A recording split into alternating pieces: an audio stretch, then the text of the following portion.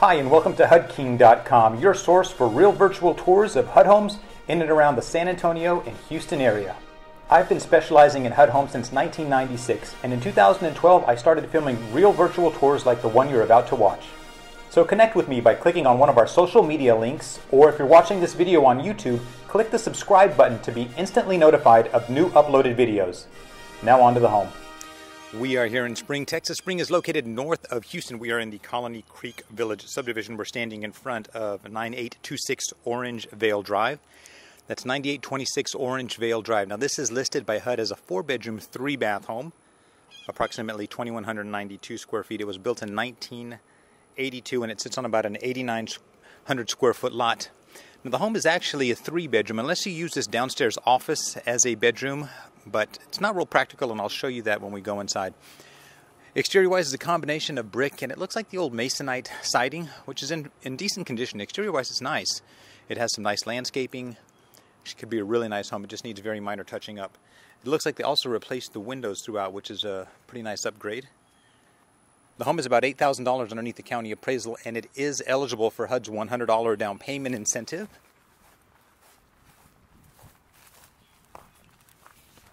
You can see they accented the garage here with a little stone facade.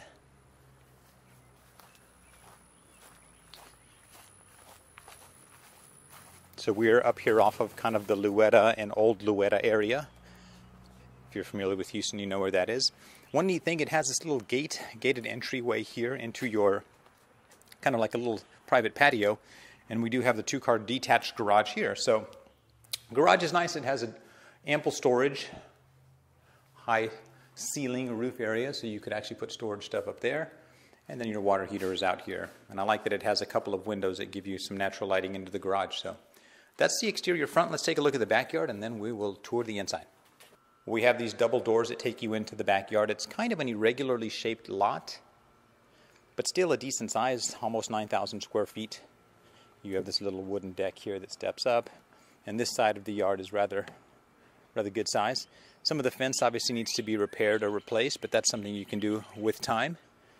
You have a 360 view there. And exterior-wise, the siding's in decent shape. So let's take a look at the inside, but before that I'll show you, you have this little, little shed storage area here. Kind of a cheapy little shed. And then relatively recently replaced HVAC unit there. So let's take a look at the inside. Well, when we step in, you do have a neutral ceramic white it's colored tile right on the entry entryway here. You have a staircase that takes you upstairs.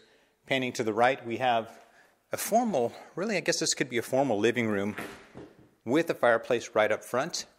You have your dining area right there off of the kitchen. And as you can see, they replaced the windows with these new upgraded double paned windows, which is pretty nice. Now downstairs here, this is that office that I was mentioning that I believe HUD counted as a, as a bedroom. And it technically it could be a bedroom, but you have these two double doors that take you into this room. So it would be in kind of an awkward bedroom if you used it that way. The closet is missing the doors. They kind of open it up as kind of a storage space. But it could technically be a bedroom if you wanted. Now around the corner here we have your full bathroom downstairs. So instead of a half bath, you have the single vanity, commode, and a shower and tub combo. Pretty basic setup bathroom number one. Continuing in, we have your family room here and dining room. So this is probably where most of your your um, living would possibly take place. You know, family, couch, TV. You could use this area right in this corner as your dining room because it's right off of the kitchen, or use this space right here with a small table to make that your breakfast area. But you can see the kitchen has a number of countertop space, uh, a number of cabinets, and decent countertop space. And then this little passage here takes you into probably what would be your formal dining and your formal living. You have the double doors here that take you outside. And then I did notice in here that there was a potential leak. As you can see, the ceiling does have some texture work that needs to be done. I believe that's under one of the bathrooms, so you want to get that investigated. So we make our way up the stairs, definitely replace the carpeting on the staircase, and we are upstairs. So when we get upstairs, if we turn to the left here, we have, I'm going to call this bedroom number one bedroom number one right up front. Needs a fresh coat of paint, needs some flooring, and if you wanted to, put some closet doors on this closet that they took out, or you can leave it that way. Down the hallway and to the left here, we have your indoor laundry room. So your washer and dryer connections are here upside, upstairs and inside. I think that's pretty nice. We have full bathroom number two here, which is a single vanity and a shower and tub combo. Pretty basic uh, bathroom setup. Down the hallway and directly straight, we have bedroom number two, which needs a fresh coat of paint and some flooring, and they also took out the closet doors. And then to the right over here, we have bedroom number three, the master bedroom. Now, again, I'm not counting that office downstairs as a bedroom, otherwise, this would be bedroom number four. But in the master bedroom, looks like they did some repair work above this door.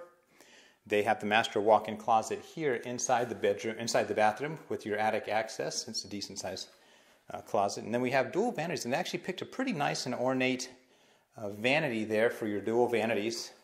And then we have a shower and tub combo in the bathroom and the commode in here. So that's about it. Beautiful home. Uh, as I said, it's about $8,000 underneath the county appraisal. It is eligible for the $100 down payment incentive, and you can even borrow money to do repairs. Let me give you a summary. Well, there you have it, 9826 Orangevale. That's 9826 Orangevale. A very nice four bedroom, three bath home. Now, remember, I'm not considering or I'm counting that office as a bedroom, so it could potentially be four bedrooms with three baths. It's about $8,000 underneath the county appraisal. Needs really just some minor cosmetic touching up, and it's listed right now for only $177,000. So if you're interested in this home or you have any questions, please call me at 210-706-0616. My name is Jonathan. I am the HUD King, and I want to help you find your castle.